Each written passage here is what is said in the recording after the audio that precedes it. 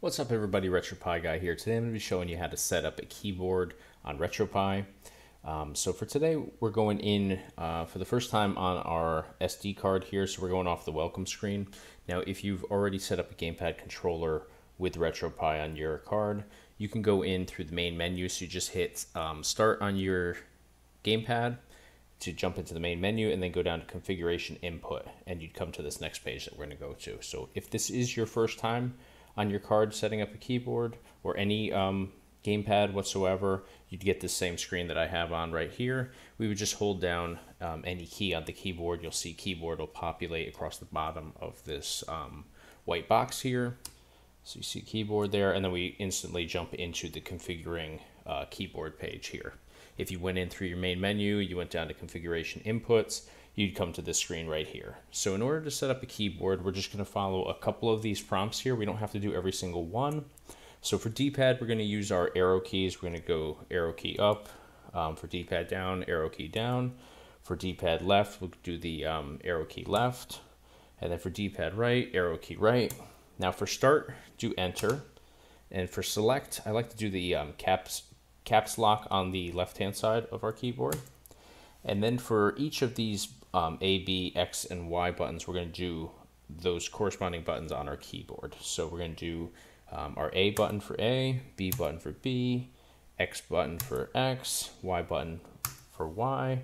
And then for left shoulder, um, right shoulder, and the triggers, we don't have to do anything. So we're going to just hold down um, any of the buttons we've already configured. So I'm just going to hold down Enter for all of these.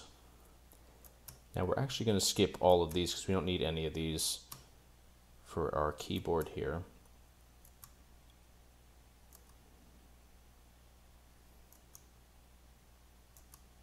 So I'm just holding enter for each of these and it bypasses the option.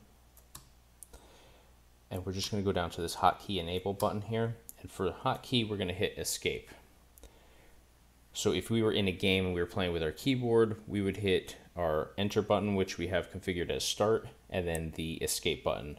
Um, so together those would be your hotkeys. But for configuring for the um, hotkey enable here, we're just going to hit the escape button. So we see it says key escape. Now to confirm all of these, we're just going to hit A. That's going to hit the OK option here. And now we've loaded into our card. So now you can play some games with your keyboard. Um, it's not recommended. I mean, I think you'd be better off with gamepad, but if you want to have a keyboard for connecting to Wi-Fi or going into some of your RetroPie setup settings, uh, stuff like that, where you do need a keyboard, um, this is the best way to set it up so we can actually navigate through everything by going left or right. Um, if we jump into a, let me jump into the settings here. Probably should have gone the other way. Just to show you, here we go.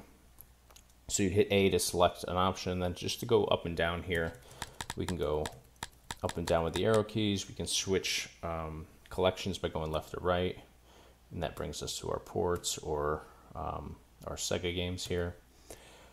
So this is just the easiest way to set up a keyboard on here. Now, if you have to go into like um, your Wi-Fi settings and you're setting up your Wi-Fi password, all your other keys are going to work on here. So don't worry about having to configure like each letter and, or number on your keyboard. All that stuff's going to go through right away. So you don't have to worry about that. Um, the input settings are more for navigation and selecting um, different options throughout the RetroPie card here. So that's it for today. Just a super easy and basic way to set up a keyboard really quick on here. Um, if you enjoyed this video, please give us a thumbs up. Be sure to subscribe to our YouTube channel. We do a whole lot of tutorials, um, gameplay demos, just a whole lot of stuff relating to RetroPie and the Raspberry Pi systems. Um, and then, of course, you can find us online at www.retropieguy.com. Thanks for watching.